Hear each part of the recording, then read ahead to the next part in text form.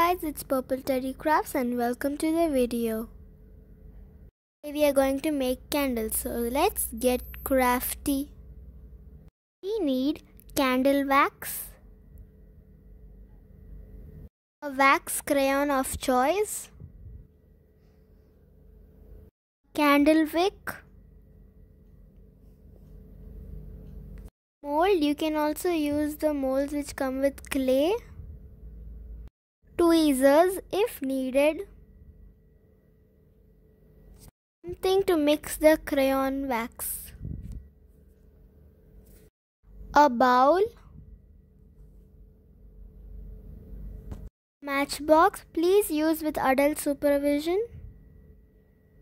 Using the candle for wax, first remove the silver coat protection thing. Break the candle in half to get the wick the candle and the crayon together in the bowl. Now place the bowl over a candle for melting.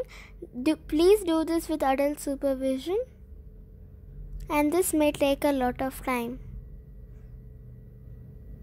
The tweezers to keep the candle wick inside and pour the melted wax inside the mold. Press the mold if it comes out. Let it cool for 15 to 30 minutes. Meanwhile, this is my crayon workshop. If you want, I can show you a tour of it.